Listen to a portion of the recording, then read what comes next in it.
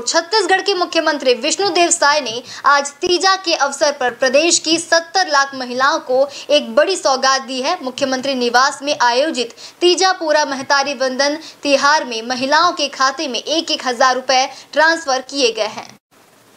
छत्तीसगढ़ के मुख्यमंत्री विष्णुदेव साय ने तीजा के मौके पर प्रदेश की 70 लाख महिलाओं को खुशखबरी दी। मुख्यमंत्री निवास में आयोजित तीजा पूरा महतारी वंदन तिहार के अवसर पर मुख्यमंत्री ने महतारी वंदन योजना की सातवीं किस्त के रूप में महिलाओं के खातों में एक एक हज़ार रुपए डीबीटी के माध्यम से ट्रांसफ़र किए। महिलाओं ने खुशी जताते हुए मुख्यमंत्री को धन्यवाद किया। महतारी वंदन योजना का उद्देश्य महिलाओं के आर्थिक स्वावलंबन आर्थिक आ, सहायता, स्वास्थ्य और पोषण तत्व से सुधार करना है। योजना के तहत विवाहित, विधवा, परित्रता और तलाकशुदा महिलाओं को प्रति माह एक हज़ार रुपए की वित्तीय सहायता प्रदान की जाती है।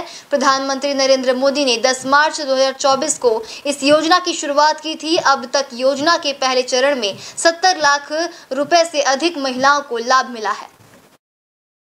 न्यू वीडियोस की अपडेट पाने के लिए सब्सक्राइब करें इंडियन न्यूज़ को। और बेल आइकन को दबाएँ।